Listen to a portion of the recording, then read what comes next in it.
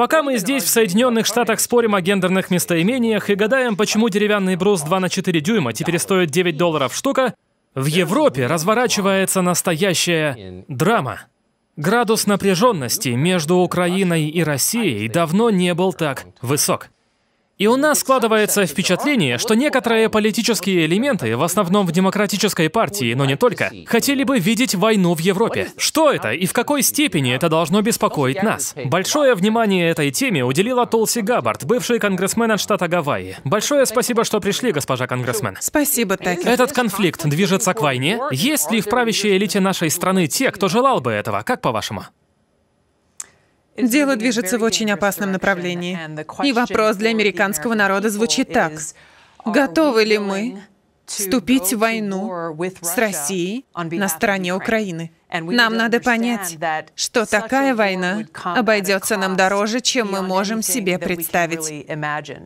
Потому что это не такая война, которая... Это будет происходить не с кем-то другим, где-то на другом конце мира. Верно. Нет, это напрямую скажется на мне, на вас, Такер, и на каждом из ваших зрителей, и на всех, кто нам дорог. Это война, это не игра. Это война, в которой не будет победителей, потому что тысячи единиц ядерного оружия США нацелены на Россию.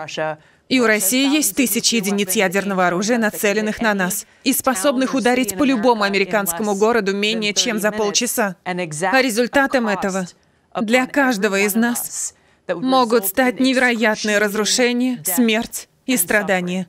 Без преувеличения могут погибнуть сотни миллионов людей, умирать в страданиях, видя, как их кожа обгорает прямо на костях. Это нечто, что даже представить сложно. И это та цена, которую мы все заплатим. Чего ради нам вообще помышлять о войне с Россией? Искренний вопрос. Это то, чего нам не следует делать. Именно по этим причинам. Да. Если посмотреть на последствия ядерной войны, это на самом деле конец мира, того мира, который мы знаем. И наше руководство должно понимать, что последствия таковы, и отнестись к ним серьезно.